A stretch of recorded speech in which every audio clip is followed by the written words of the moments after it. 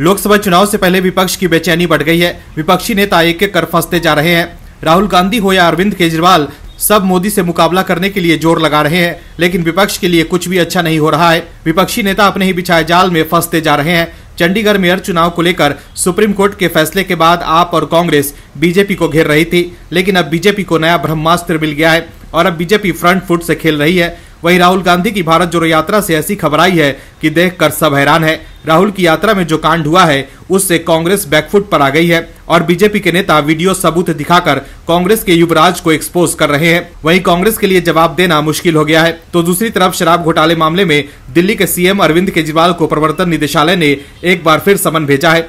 ED ने केजरीवाल को 26 फरवरी को पूछताछ के लिए बुलाया है। केजरीवाल अब तक केंद्रीय जाँच एजेंसी की ओर से भेजे गए छह समन को दरकिनार कर चुके हैं। उन्होंने हर बार ईडी के समन को अवैध और राजनीति से प्रेरित बताया है, लेकिन इस बार जो खबर आई है, उससे केजरीवाल की नींद ज़रूर उड़ गई होगी। इस खबर में आगे सब कुछ बताएँगे आपको डिटेल में कि कैसे केजरीवाल और राहुल की बढ़ गई है मुसीबत। तो बने रहिए वीडियो में अंत तक और देखिए हमारी ये खास रिपोर्ट। मंगलवार को जब देश की सर्वोच्च अदालत चंडीगढ़ मेयर चुनाव पर सुनवाई कर अपना फैसला सुना रही थी तो विपक्ष की मांगों का खोखलापन भी सुप्रीम कोर्ट के फैसले के साथ ही उजागर हो गया है। सुप्रीम कोर्ट ने चंडीगढ़ मेयर चुनाव की सुनवाई करते हुए कहा कि बैलेट पर एक्स्ट्रा निशान थे, लेकिन दोस्तों, देश का विपक्ष तो लगातार मांग कर रहा है कि देश के सभी चुनाव बैलेट पेपर से ही हो। आप लोग खुद ही सोचिए कि जब मेयर चुनाव में बैलेट में धांधली हो सकती है तो विधानसभा और लोकसभा के चुनावों के दौरान ऐसा नहीं होगा क्या? इसकी क्या गारंटी है? बैलेट से चुनावी प्रक्रिया लंबी और बोझिल हो जाएगी और साथ ही चुनाव में हमेशा गड़बड़ी का तो डर बना ही रहेगा। जैसा अभी चंडीगढ़ चुनाव में देखने को मिला है बूथ कैप्चरिंग और बैलेट बॉक्स हाईचैक जैसी परेशानी भी आम हो जाएगी। अगर यही वोट ईवीएम से होते तो न चंडीगढ़ मेयर चुनाव में गड़बड़ी होता। प्रक्रिया भी आसान और सरल हो जाती। तो चंडीगढ़ मेयर चुनाव में सर्वोच्च अदालत ने फैसला किसी के पक्ष में दिया हो? लेकिन उनका फैसला किसी न किसी रूप से इस बात की तो तस्दीक कर ही रहा है कि विपक्ष जो बैलेट पेपर से चुनाव चाहता है वो मांग उनकी एकदम नाजायज और गैर ज़रूरी है सुप्रीम कोर्ट के फैसले के बाद विपक्ष भी एक तरह से बैकफुट पर है। दरअसल चंडीगढ़ मेयर चुनाव पर मंगलवार को सुप्रीम कोर्ट ने फैसला सुनाया। चीफ जस्टिस डीवाई चंद्रचूड़ की अध्यक्षता में तीन सदस्यीय बेंच ने आदेश दिया है कि मेयर चुनाव में अमान्य किए गए आठ बैलेट पेपर मान्य माने जाएँगे। जिसके बाद आम आदमी पार्टी के कुलदीप कुमार को मेयर घोषित कर दिया गया। पीठ ने कहा कि याचिकाकर्ता को बारह वोट मिले थे। आठ मतों को गलत तरीके से अमान्य करार दे दिया गया। बाद में ये आठ वोट याचिकाकर्ता के पक्ष में पाए गए। इस तरह आठ मतों को जोड़ देने पर याचिकाकर्ता के 20 वोट हो जाते हैं। लिहाजा आप पार्षद और याचिकाकर्ता कुलदीप कुमार को चंडीगढ़ नगर निगम के महापौर पद पर निर्वाचित घोषित किया जाता है। पीठासीन अधिकारी अनिल मसीह द्वारा बीजेपी प्रत्याशी को विजेता घोषित करने का फैसला अमान्य है। अब आम आदमी पार्टी के मुखिया अरविंद केजरीवाल से लेकर राहुल गांधी तक ने सुप्रीम कोर्ट के इस फैसले पर बीजेपी को ही निशाने पर लिया है। लेकिन विपक्षी नेता बैलेट पेपर से चुनाव की वकालत करते हैं और ईवीएम पर सवाल उठाते हैं। ऐसे में सुप्रीम कोर्ट के इस फैसले के बाद विपक्ष अब किस मुँह से बैलेट पेपर से चुनाव की मांग करेगा? क्योंकि बैलेट पेपर को नष्ट करना और बर्बाद करना आम बात है। पिछले साल हुए पश्चिम बंगाल पंचायत चुनाव में सबने देखा था कि कैसे बैलेट पेपर नष्ट किए जा रहे थे और कैसे लोग बैलेट बॉक्स से लेकर भाग रहे थे। कांग्रेस ने तो बंगाल पंचायत चुनाव में नकली बैलेट पेपर के इस्तेमाल की आशंका जताई थी। बंगाल पंचायत चुनाव से पहले अधीर रंजन चौधरी ने कहा था कि दो बैलेट पेपर छपवाए जा सकते हैं, एक असली और दूसरा नकली। मतदान संपन्न होने के बाद स्ट्रांग रूम ले जाते वक्त असली बैलेट पेपर को नकली से बदला जा सकता है। लेकिन विपक्ष खुद ही बैलेट पेपर से चुनाव की मांग कर रहा है। लेकिन चंडीगढ़ मेयर चुनाव मामले पर सुप्रीम कोर्ट के फैसले के बाद विपक्ष को भी ये मानना चाहिए कि ईवीएम से ही चुनाव करना सही है। राहुल गांधी की मोहब्बत की दुकान की पोल खुल गई है। वायरल वीडियो से राहुल गांधी एक्सपोज हो गए हैं। राहुल गांधी का हाल ऐसा हो गया है जैसे खिसियानी बिल्ली खम्बा नोचे। राहुल गांधी लगातार कांग्रेस के लिए काम कर रहे हैं, लेकिन राहुल और पार्टी की बदकिस्मती ऐसी कि ना राहुल ही देश की राजनीति में लॉन्च हो पा रहे हैं और ना ही राजनीतिक दल के रूप में कांग्रेस देश की सत्ता में कम कर पा रही है। राहुल ने जब से अपना राजनीतिक करियर शुरू किया है, तब से कांग्रेस रसातल में जा रही है। राहुल गांधी लगातार हार का मुँह देख रहे हैं। कांग्रेस के लोग इस बात से इतने उब गए हैं कि जो लोग अब स्वामी भक्ति नहीं कर पा रहे हैं, वो पीएम मोदी के राष्ट्र निर्माण मिशन में जुड़े जा रहे हैं। राहुल कम नहीं कर पा रहे हैं और नेता पार्टी छोड़कर जा रहे हैं। तो वहीं गठबंधन के साथी भी लगातार कांग्रेस को आँख दिखा रहे हैं। इन तमाम राजनीतिक दुष्विचारों के बीच राहुल गांधी शायद इतना परेशान हो चुके हैं कि उनकी राजनीतिक खींच सार्वजनिक तौर पर भी दिखने लगी है। दरअसल राहुल गांधी की रैली में हुई मारपीट की घटना का वीडियो सोशल मीडिया पर वायरल हो गया है। वीडियो में दिख रहा है कि पत्रकार को भीड़ ने घेर रखा है और गाड़ी पर खड़े राहुल गांधी पत्रकार पर अपना बड़ास निकाल रहे हैं। पत्रकार से गुस्साए राहुल गांधी पूछते हैं कि आप किस मीडिया से हैं? नाम क्या है आपका? अपने मालिक का नाम बताओ। क्या नाम है? बताओ। दरअसल रायबरेली ज़िले से निकल रही यात्रा के दौरान राहुल एक पत्रकार के सवाल पर भड़क गए। उन्होंने पत्रकार की जाति, नाम और मालिक तक के बारे में पूछना शुरू किया।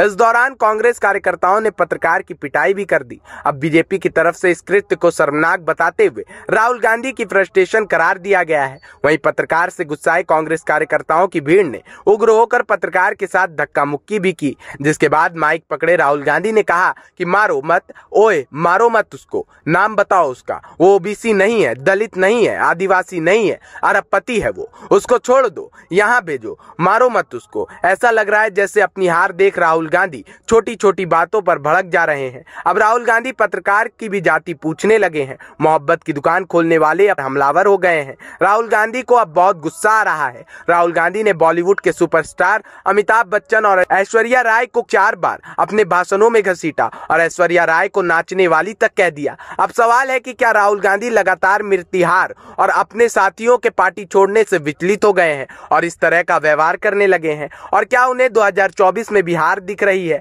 रायबरेली में राहुल गांधी जिस तरह का व्यवहार मीडिया से करते दिख रहे हैं, वो राहुल गांधी का स्वाभाविक व्यवहार नहीं रहा है। हाल के दिनों में उनकी वाणी में तलखी साफ़ झलक रही है। वहीं राहुल की यात्रा पत्रकार पर हमला को लेकर यूपी के पूर्व मुख्यमंत्री और राज्यसभा सांसद दिनेश शर्मा ने कहा कि न्याय यात्रा में भीड़ नहीं जुट पाने का फ्रस्ट्रेशन राहुल गांधी पत्रकार पर निकाल रहे हैं। वहीं बीजेपी विधायक सलभ मनी त्रिपाठी ने वीडियो ट्वीट कर कहा है कि इस हद तक आप पहुँचे ये शर्मनाक। वहीं बीजेपी यूपी प्रवक्ता मनीष शुक्ला ने कहा, मैं फिर कह रहा हूँ, बीमारी लाइलाज होती जा रही है। अच्छे डॉक्टर को दिखाइए। नहीं, अभी तो पत्रकार को सवाल पूछने पर समर्थकों से पिटवा रहे हैं। जल्दी खुद ही काटने फाड़ने भी लगेंगे। लोकसभा चुनाव से पहले देश मोदी में हो चुका है। हर तरफ़ पीएम मोदी की काम की वाहवाही हो रही है। पीएम मोदी ने 10 साल के अपने कार्यकाल में इतना काम किया है, जितना शायद पहले कभी नहीं हुआ होगा।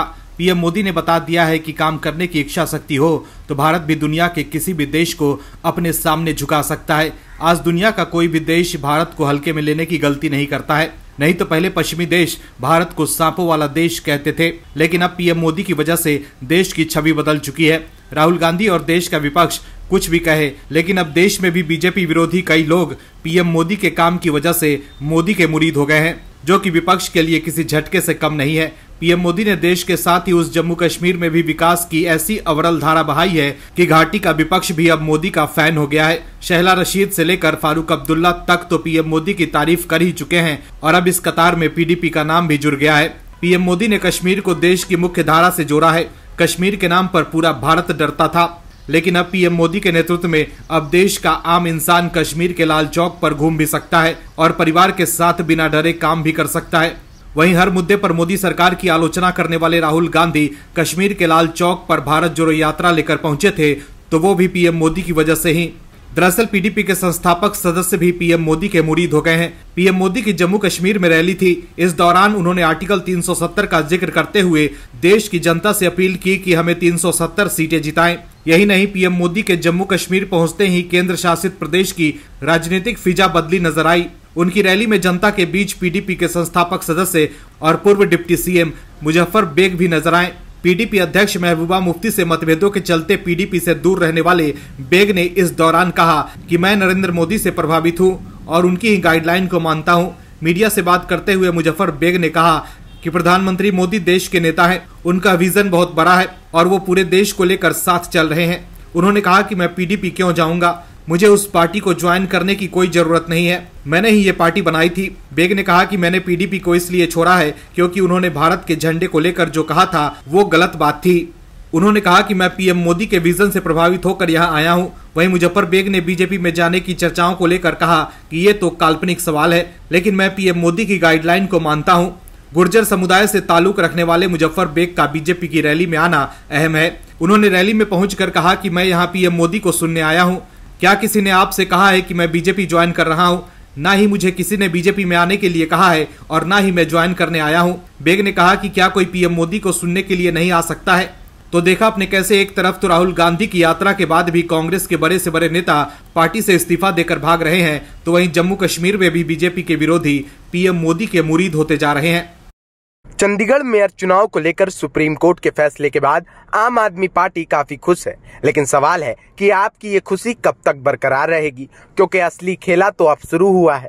आम आदमी पार्टी के उम्मीदवार कुलदीप कुमार भले ही सुप्रीम कोर्ट के फैसले के बाद चंडीगढ़ के नए मेयर नियुक्त हो गए हैं, लेकिन सवाल तो ये बनता है कि आखिर कब तक आपके कुलदीप मेयर पद पर अपने नाम का दीपक जला पाएँगे? क्योंकि सुप्रीम कोर्ट के फैसले से पहले ही बीजेपी ने खेला कर दिया था। सुप्रीम कोर्ट के रुख को भांपते हुए बीजेपी के मेयर ने इस्तीफा भी दे दिया था और बीजेपी का प्लान बी भी तैयार है। अब आपके कुलदीप कुमार चंडीगढ़ मेयर बने हैं। चंडीगढ़ के कुलदीप कुमार इंडी गठबंधन के संयुक्त उम्मीदवार थे, जिनके पास उस समय 20 वोट थे, लेकिन अब पूरा नंबर गेम बदल चुका है, जिसके बाद से ये अटकलें लगने लगी है कि कुलदीप कब तक अपने पद पर बने रहेंगे, क्योंकि बीजेपी ने प्लान बी पर काम करना शुरू कर दिया है। दरअसल मेयर चुनाव का मामला सुप्रीम कोर्ट पहुँचा और शीर्ष अदालत से इस चुनाव को लेकर फटकार भी लगी। लेकिन अब खेल पलट गया है, क्योंकि आपके तीन पार्षद बीजेपी में शामिल हो गए हैं। आपके तीन पार्षद के बीजेपी में शामिल होने के बाद से इंडिया गठबंधन का समीकरण बिगड़ गया है। चंडीगढ़ मेयर का चुनाव आप और कांग्रेस ने मिलकर लड़ा था। दोनों के पास 20 वोट थे मतलब बहुमत से दो ज़्यादा, लेकिन आम आदमी पार्टी के तीन पार्षदों के बीजेपी में शामिल हो जाने के बाद आप कांग्रेस गठबंधन और बीजेपी के पार्षदों की संख्या सत्रह सत्रह हो गई है। वहीं अकाली दल के एक पार्षद का भी समर्थन बीजेपी को हासिल है। इसके अलावा बीजेपी के पास एक अतिरिक्त वोट चंडीगढ़ की सांसद किरण खेड़ का भी है। ऐसे में सुप्रीम कोर्ट ने भले ही आपके उम्मीदवार कुलदीप कुमार को जीता हुआ मेयर घोषित कर दिया है। लेकिन आपके तीन पार्षदों के बीजेपी में जाने से आप अल्पमत में चली गई है। ऐसे में अब नए मेयर के सामने कई चुनौतियाँ हैं। इनमें पहली चुनौती ये है कि आप मेयर कुलदीप कुमार को सदन में अविश्वास प्रस्ताव से बचना होगा, क्योंकि संख्या बल उनके खिलाफ है। कानूनी जानकारों की माने तो अविश्वास प्रस्ताव जीतने के लिए आम आदमी पार्टी के नए मेयर को सदन में पार्षदों के बहुमत के साथ साथ उपस्थिति और मतदान करने वाले के दो तिहाई वोट हासिल करने होंगे। यहाँ एक सवाल ये भी है कि अगर नगर निगम में फ्लोर टेस्ट तो होता नहीं,